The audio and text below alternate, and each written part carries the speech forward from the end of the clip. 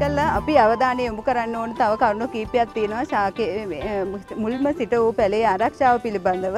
මේකට සෙවන පැට සැපීම සහ යාන්ත්‍රික හානිවලින් ආරක්ෂා කර ගැනීම. ඒ සඳහා අපිට මුලින්ම කරන්න පුළුවන් මේ ගහ රුජුව පවත්වා ගැනීම සඳහා බද්ධ සන්දියට යම් හානියක් නොවීම සඳහා ආධාරකය සැපීම සිදු කරන්න.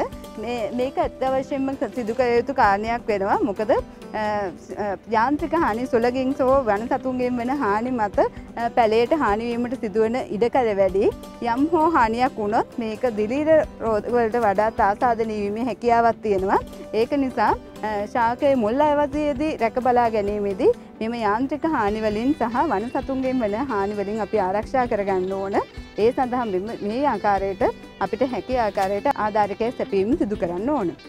ඊට අමතරව සෙවන යෙදීම සිදු කරන්න ඕන. මොකද දැන් මේක බඳුනක තිබුණේ මේ වෙන මූල මණ්ඩලයේ වෙනම තැනකට ස්ථාපනය කිරීම සිදු කරා. පැලයට එන ආතතිය අවම කර ගැනීම සඳහා සෙවන යෙදීම සිදු කරන්න ඕන. ඒ සඳහා අපිට යොදාගන්න පුළුවන් අපි අවටින් හොයාගන්න පුළුවන් පොල්ලතු එහෙම නැත්තං ගිලිසීරයාතු වගේ දේවල් යොදාගෙන සෙවන සැපීම සිදු කරන්න පුළුවන්. මීට අමතරව යාන්ත්‍රික හානි වන සතුන්ගෙන් වන හානි ආරක්ෂා කර ගැනීමට අපිට හැකියාවක් තියෙනවා නම් මෙන්න මේ ආකාරයේ දැලක් අපිට සකසලා මේක පැල ආවරණය වෙන ආකාරයට යොදන්න පුළුවන්.